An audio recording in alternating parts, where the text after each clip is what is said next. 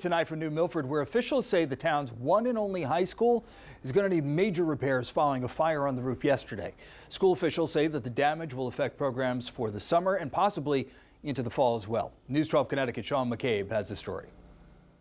The summer school should have kicked off here at New Milford High School today, but that extra learning is now being put on hold after the school building was damaged in a fire yesterday. This unfortunate fire, if it were to have happened today, we would have had over 200 kids and staff that would have been in the school. About 60 students and staff were in the building for programs. School officials say most students were already on their buses when the fire began. It was heavily extensive uh, uh, damage that we did have inside, water damage, smoke damage, and the roof, obviously, uh, the burn that happened there. Mayor Pete Bass says six volunteer firefighters were transported to the hospital with minor injuries as departments as far as Bantam and Danbury responded.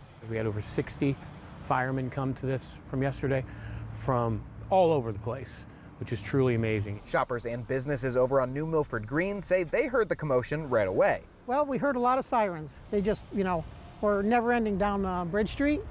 And we knew there had to be something really big. Residents hoping local high school students can return to class in that building in the fall. They, I think they were working on the roof when, they, when it happened, so they're going to have to work a little extra harder, I guess. I'm curious if that'll affect uh, the start of school. New Milford alums say students have had enough surprises over the last few years. I'd hate to see like anything else different from the way it should be just dealing with COVID and everything too, like just normalcy. I wish I want it to be normal. We're told those six firefighters were all released from the hospital and are resting at home with their families today. For now, in New Milford, Sean McCabe, News 12 Connecticut.